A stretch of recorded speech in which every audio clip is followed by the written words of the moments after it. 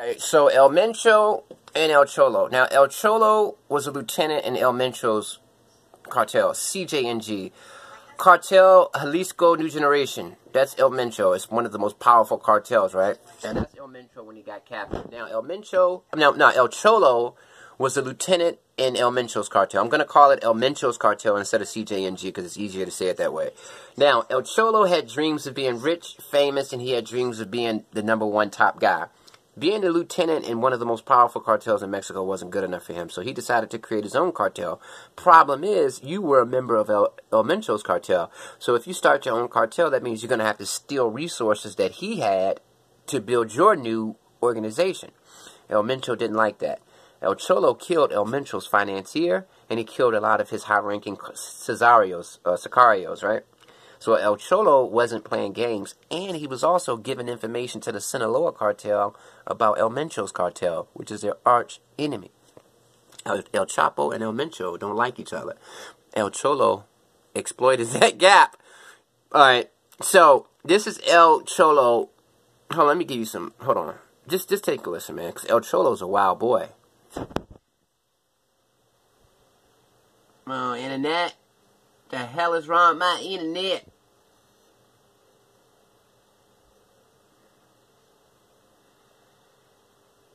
Video was released online depicting El Cholo captured and surrounded by heavily armed CJNG Sicarios. The video is essentially a brief confession from El Cholo where he states that he is supported by high-ranking police chief Omar Garcia Harfuch. Let's take a listen. Mi nombre es Carlos Enrique Sánchez Martínez, alias El Cholo, originario de Guadalajara, Jalisco. De esta situación por ser contra. Eh, me encontré en el Distrito Federal con Omar García las de Tonalá, Tlaquepaque. G. I met with Omar Garcia Harfuch in the Federal District so that he could give me his backing. This is due to us both being after the CJNG, and he did give me his full support, but he told me that he needed something relevant in return so that I could operate with his support. This is El Cholo, the translation. city. And so I kicked everything off. All of the crimes that took place in the local area, I am personally responsible for. And I myself called the authorities so that they would turn everything into a heightened police matter. The individuals who sponsor support here in this taking care of your families so that you don't end up like me. The last part of that statement, for many that are still left supporting me, it's best for your own good to just start taking care of your families so that you don't end up like me. Hmm. The last part of that statement is pretty chilling, if you ask me. Shortly after this, El Cholo would be brutally murdered by CJNG Sicarios. No, El Cholo? he wasn't given a quick death. Shortly after the interrogation video was released, a body was found in Guadalajara. The body was tightly wrapped in black plastic, with notes stabbed into the body. One of the notes simply read, El Cholo the traitor. Although this was revenge against El Cholo, it was also a public statement not to mess with CJNG. It's believed that the body was dropped off during the daytime. The corpse was soon taken for autopsy, which is where the signs of torture became apparent. He wasn't given a quick death. It's believed that he was subjugated to hours of savagery. Seven of his toes were broken, ah. and one toe was cut off.